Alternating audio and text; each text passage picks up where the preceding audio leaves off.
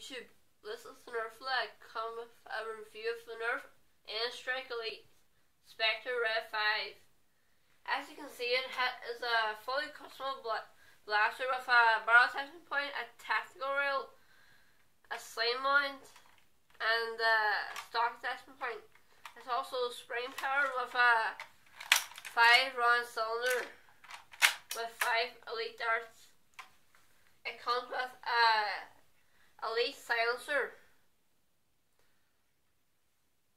and the photo will stock. Now I will assemble it for you. Um, Hasbro already released the earlier version back in 2007. now, hopefully I'll get the firing test.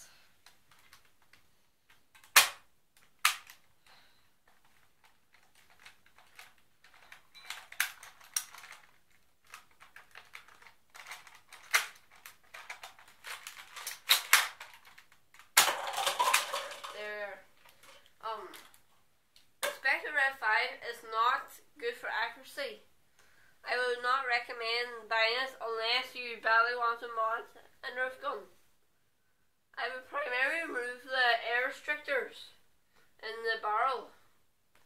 Thank you for watching my video. Any likes, support, comments and subs would be greatly appreciated. And remember to smash that like button. This, this is the Nerf Lad. Sign out. Bye.